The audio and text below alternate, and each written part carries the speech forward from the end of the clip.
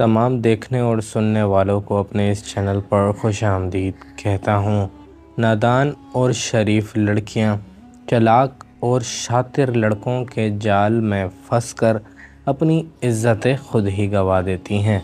आज एक ऐसी लड़की आपको दिखाएँगे जो कि अपने आशिक को मिलने के लिए अपने आशिक के घर सुबह के साढ़े पाँच बजे या फिर डेढ़ बजे जाती है।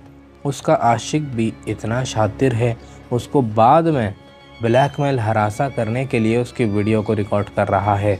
आप देख रहे हैं कि वो जैसी स्टेट से ऊपर आ रही है तो ये लड़का पहले उसकी वीडियो को सेव कर लेता है और फिर दिखाता है कि मैंने वीडियो भी बनाई है।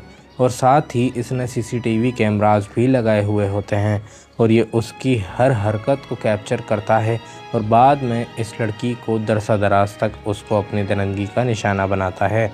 आप इस बारे में क्या कहेंगे? कमेंट लाजमी कीजिएगा।